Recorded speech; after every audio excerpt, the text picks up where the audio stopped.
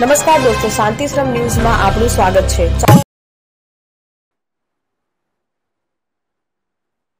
આવતીકાલે દેશની પ્રથમ સોઇલ ટેસ્ટ લેબોરેટરીનું થશે લોકાર્પણ. સોઇલ ટેસ્ટ લેબોરેટરીથી બનાસકાંઠામાં માટીના ધબકારા જીવંત થશે, ચેરમેન શ્રી શંકરભાઈ ચૌધરી. બનાસ ડેરી અને ઈશા ફાઉન્ડેશને સાથે મળી બનાસની ધરાને જીવંત બનાવશે ચેરમેન શ્રી શંકરભાઈ ચૌધરી. આવતીકાલે ગુજરાત વિધાનસભા અધ્યક્ષ શ્રી અને બનાસ ડેરીના ચેરમેન શંકરભાઈ ચૌધરી દ્વારા થરાદમાં બનેલ બનાસ સોઇલ ટેસ્ટિંગ લેબોરેટરી અને Banas save soil farmer producer કંપનીનું ઉદ્ઘાટન કરશે. જ્યારે ખીમાણા ખાતે સ્થિત Banas bio fertiliser research and development લેબોરેટરીનું digital ઉદ્ઘાટન પણ થશે, જે અંતર્ગત યોજાયેલી પ્રેસ મીટમાં પત્રકારોને ચેરમેન શ્રી શંકરભાઈ ચૌધરીએ બનાસ સોઇલ ટેસ્ટિંગ લેબોરેટરી સ્થાપિત થતા જિલ્લાના ખેડૂતોને મળતા ફાયદા વિશે અવગત કર્યા હતા. પત્રકાર પરિષદને સંબોધતા અધ્યક્ષ શ્રી શંકરભાઈ ચૌધરીએ જણાવ્યું હતું ઈશા ફાઉન્ડેશનના સ્થાપક પૂજ્ય સદગુરુની બનાસકાંઠા મુલાકાત બાદ બનાસ ડેરીએ માટીને પુનર્જીવિત કરવાની કામગીરી હાથ ધરી હતી. ઈશા ફાઉન્ડેશનના અનેક વૈજ્ઞાનિકો બનાસના ખેડૂતો માટે તેમજ માટીમાં રહેલી જીવંતતા કરી ફરી કાર્યરત કરવા કામ કરી રહ્યા છે. જિલ્લાના પાંચ ગામ વચ્ચે એક ભૂમિત્ર માટીને જીવંત બનાવવા માટે કામ કરી રહ્યા છે. થરાદમાં બનેલ બનાસ સોઇલ ટેસ્ટિંગ લેબોરેટરીની દેશની પ્રથમ માટીની જીવંતતા ચકાસવાની લેબોરેટરી છે. જેમાં માટીમાં રહેલી જીવંતતા જાણી શકાય છે, જે બતાવશે કે ખેડૂતોના ખેતરમાં રહેલી માટીમાં પોષક તત્વો કેટલા પ્રમાણમાં છે. ચેરમેન શ્રી શંકરભાઈ ચૌધરીએ જણાવ્યું હતું કે થરાદમાં બની લેબમાં માટીમાં જીવંતતા કેટલી છે તે જાણી શકાશે. માટીમાં અનેક રહસ્યો છુપાયેલા છે જેને જાણવા જરૂરી છે. આપણી માટી જીવન છે, તેના કણ કણમાં જીવ રહેલો છે, તેની જાણકારી હોવી આજના સમયની માંગ છે. દેશની આ પ્રથમ લેબોરેટરી છે જેમાં માટીની જૈવિકતાની તપાસ થશે. જીવંત માટી દ્વારા સમૃદ્ધ ભવિષ્ય બનાવી શકાય છે. આપણી માટીમાં નવા જીવનની ખોજ કરવાની છે. આજે જે પ્રકારે માનવ શરીરમાં રોગ અને પોષક તત્વોનું પ્રમાણ ઘટ્યું છે તેનું કારણ માટીના જીવંતતામાં ઘટાડો છે. આપણા સારા ભવિષ્ય માટે માટી જીવંત હશે તો જ આ પૃથ્વી પર રહેલી જીવસૃષ્ટિ જીવંત રહેશે. આ ઉમદા હેતુથી બનાસ ડેરી આજે ઈસા ફાઉન્ડેશન સાથે મળી માટીને જીવંત બનાવવા માટે કામ કરી રહી છે. ઈસા ફાઉન્ડેશનના soil conscious પ્લાનેટના chief technical officer Praveena Sridhar જણાવ્યું કે આપણી માટી જીવન બનશે તો આપણે જે આજે ખોરાક બાદ ન્યુટ્રિશન લેવા પડે તેની જરૂર નહીં રહે.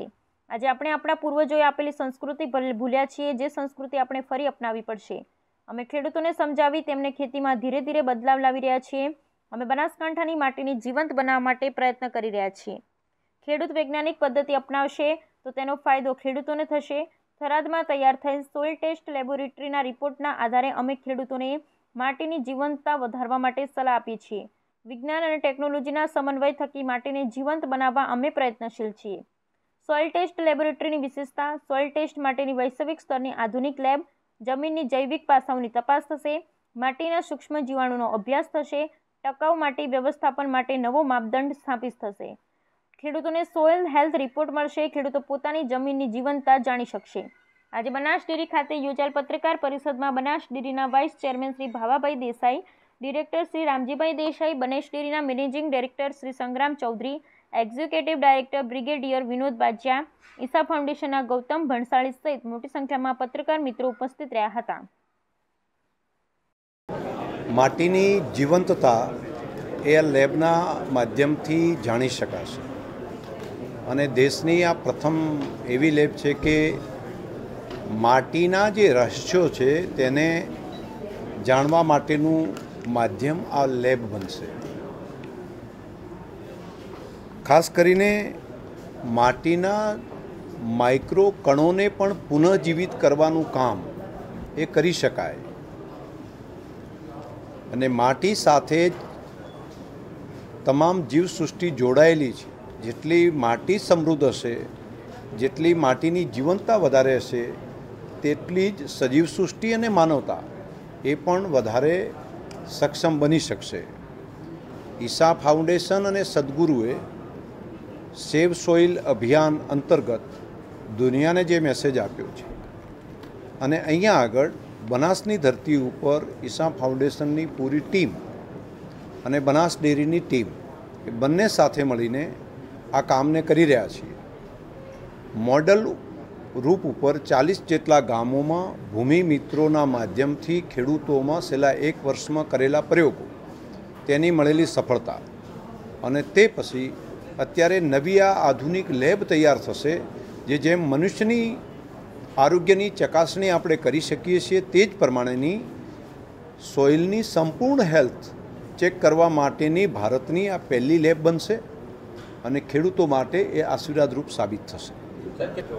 બંને કામ થશે, અહીંયા લગભગ, જો ગીર્દી બહુ ન હોય, લાઈન બહુ લાંબી ન હોય, અને ઇન ટાઈમમાં કરીએ તો અમે અડતાલીસ કલાકની અંદર એનું સેમ્પલ તૈયાર કરીને આપી શકાય છે. પરંતુ આ બંજર ભૂમિમાંથી એક સમૃદ્ધ ભૂમિ બનાવવાનું કામ કરી શકાય તેવું અદ્ભુત કામ છે.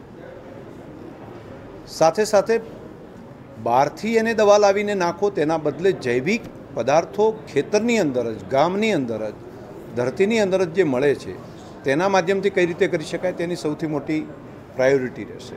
જે રીતે માણસને ફૂડ સપ્લિમેન્ટરીની જરૂર હોય છે, એવું આપણે કહીએ છીએ, તો એના પોષક તત્વો ઘટ્યા એના કારણે તો પહેલી જરૂર છે ધરતીને. ધરતીનો ખોરાક એ ઝાડના પાંદડા અને પ્રાણીઓના છાણ છે, મળ છે. આ બંનેના સમન્વયના આધાર ઉપર એના બેક્ટેરિયા એની ફંગસ એ પછી માઇક્રો સૂક્ષ્મ જીવાણુઓ અને એના આધાર ઉપર આખી ધરતી જીવંત થાય છે. અને તમે લાઈવ જોઈ પણ શકો છો કે માટીની ચપટી માટી ટેસ્ટમાં મૂકીને એની કેટલી જીવંતતા છે, એના બેક્ટેરિયા કઈ રીતે ચાલે છે, ફંગસની પ્રક્રિયા કેવી થાય છે, એ તમે લાઈવ લેબની અંદર જોઈ શકાય. માટી ખરેખર જીવે છે આપણે અત્યારે સુધી કહેતા હતા વનસ્પતિ જીવે છે, પરંતુ માટી પણ જીવે છે, માટીની પણ જીવંતતા છે, એ પણ પ્રત્યક્ષ રીતે લેબમાં જોઈ શકાય.